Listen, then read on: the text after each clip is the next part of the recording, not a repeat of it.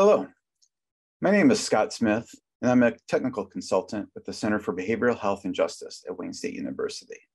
There are many reasons why individuals living with a serious mental illness don't treat their illness. And assisted outpatient treatment is specifically designed to address some of those reasons, including a condition known as anosognosia, which is just a fancy term for the impairment in the ability to understand or recognize that you're sick. And this is really a significant part of what's going on for individuals who are targeted for intervention with assisted outpatient treatment. And the reason is that when individuals living with a serious mental illness experience anosognosia, it directly compromises whatever treatment they're experiencing by interrupting it. It makes it unlikely that they're going to adhere to any of the treatment from day to day and ultimately, every time they stop their treatment, things get worse. Now, how common is it for individuals to experience anosognosia when they're living with serious mental illness? Well, across multiple studies, it turns out that it's very common, with some studies estimating uh, as high as 98% of individuals who are living with schizophrenia experience anosognosia. And for those individuals living with bipolar disorder, especially when they're primarily experiencing the manic phase of bipolar disorder, nearly half, 40%, are estimated to experience this. This is very common when somebody is feeling that grandiose, exuberant feeling associated with mania.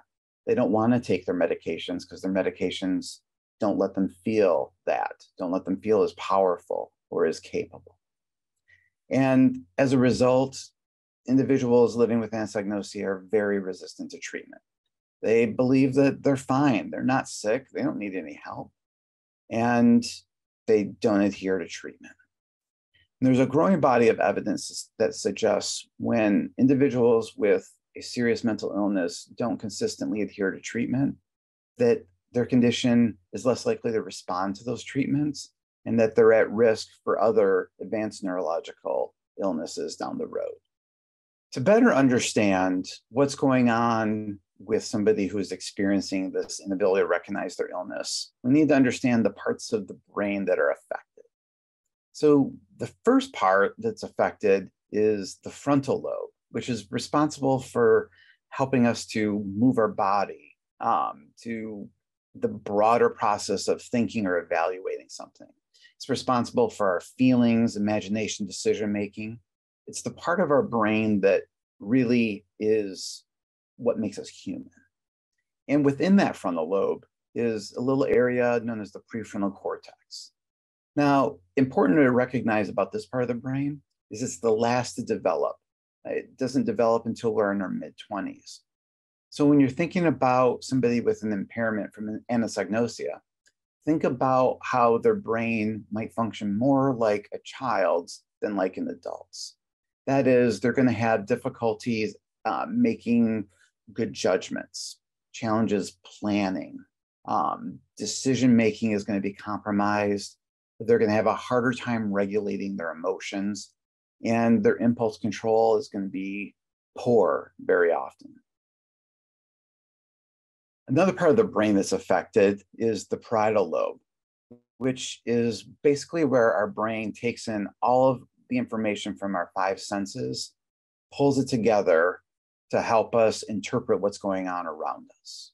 It's this part of the brain that helps us interpret what we're feeling in terms of pressure, pain. It's also how you would interpret the sensations of heat and cold. The final area of the brain that we believe is affected by this condition of anosognosia is a very small region of the brain, the insula. And this is a part of the brain that we're learning a lot about still. But what we know is that it's responsible for the highest level functions that we engage in as humans. And it's responsible in a way that has more of an evaluation oriented slash selection oriented role.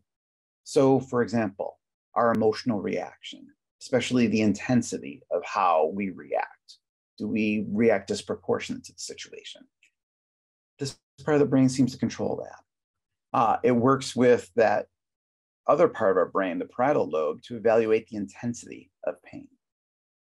It's also the part of our brain that seems to be activated when we're making decisions when we're emotional. So it plays a role in risky decision making. We know that when we make decisions when we're really angry or when we're really happy or in love, those aren't always the decisions that we would make uh, if we weren't feeling those intense emotions. And this is the part of the brain that seems to be responsible for that. It's also where we form our ability to sympathize and recognize others' emotions. And finally, it plays a role in our awareness of our physical self, that is, the sensation within inside our bodies. And because these areas of the brain are affected, we need an intervention that assumes that there's a compromise in this type of function and this is where AOT comes in and can be so helpful. Assisted outpatient treatment accomplishes its goal by addressing treatment non-adherence from two separate directions. First, by targeting the individual, compelling them via a court order to receive appropriate mental health treatment. But it does something else. It also addresses the issues by targeting the mental health system and that is committing the mental health system to provide treatment and ensure that the treatment is occurring. Sadly, sometimes this is where the system does fail. You've probably had experiences where you've attempted to do everything in your power to help somebody, to connect them to services, and those services don't seem to function properly. Assisted outpatient treatment is specifically designed to help ensure that it does function the way it's supposed to. Thank you for your time watching this webinar. This training is presented as a part of the Michigan Assisted Outpatient Treatment Toolkit. And to learn more, please visit behaviorhealthjustice.wayne.edu forward slash AOT.